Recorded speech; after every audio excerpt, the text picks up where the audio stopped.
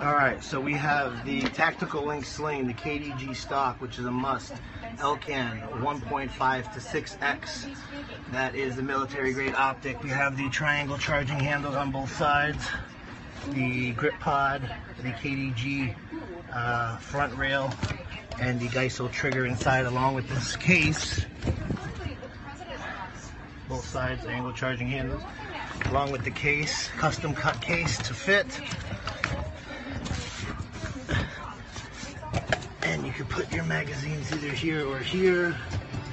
You have the sling, fits right in there as well. Are you a veteran? And that, my friend, is going to be the best AR. And I'll get you the price. Also, have the sling mount there and the trigger inside. And you can also have this extra cover as well.